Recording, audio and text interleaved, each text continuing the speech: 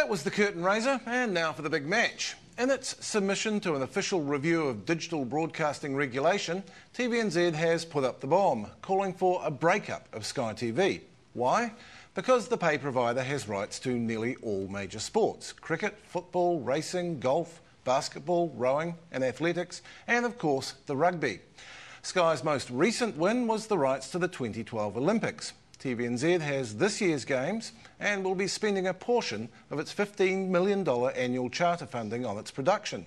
Broadcasting Minister Trevor Mallard is not pleased. But TVNZ says New Zealanders face a $14 a month sports tax if they want to see these events live. It wants Sky split into at least two businesses, one to make and buy programs, the other to run its transmission network.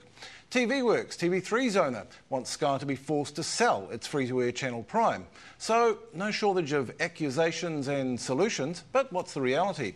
Joining us are Peter Parussini, TVNZ's Head of Corporate Affairs and former General Manager of Communications at the New Zealand Rugby Union. Sunday Star Times business columnist Tim Hunter, who wrote last week that Sky is winning, so TVNZ wants to change the rules. And Phil Smith, who built then sold his TV company Uplink to the multinational sports world and has seen the global sports rights scene up close.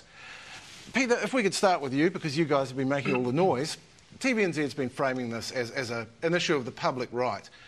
But I don't see anyone in the streets marching because the rugby's on Sky. It's really more a commercial issue for you guys, isn't it? It's a broader issue than that for us. I mean, the, the government's doing its biggest ever review of broadcasting regulations in New Zealand, and the industry's been asked to comment on a whole range of issues, and, and we've done that. We've produced two submissions totaling about you know, 80 pages, and we talk about network issues, funding issues, regulator issues, and and uh, and But this like one's popped rights. out, hasn't Absolutely, it's the sexy issue for the media to grab hold of, and that's fine.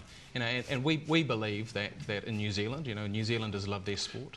They, they, Th- they this it seems a bit important to disin- them. disingenuous to say that it's just popped out, though. There's, there's a PR push going on, isn't there? And you, you've got commercial negotiations with Sky in the back of your heads. No, this is genuinely about the framework for the industry going for the next 10, 20 years. It's quite critical that we as a country decide what sort of environment we want for broadcasting in this country. Um, at the moment, there are no rules. I mean, it would be great to have some rules and to have a referee to, to referee the game, but at the moment we don't have them. And, and sports, sports rights is a, is, a, is, a, is a topical issue. At the moment, um, Sky has rights to, to most sports, and we think Sky actually does a very good, uh, uh, uh, plays a very good game. You know, they're very good broadcasters, but there are some sports we think that are iconic to New Zealanders, they're important to us as New Zealanders, and we think they should also be available on free-to-air television, either TVNZ or MediaWorks TV3's owners. We think that we should be looking to other countries. Other countries have arrangements where free-to-air broadcasters get to show sporting events of, of national importance. In Britain, for example, um, the Grand National, the FA Cup. And they, they don't always work out well. Anyway, No, we, we, we have to go to a break now, and we'll hear from the rest of the panel after that. We'll be back soon.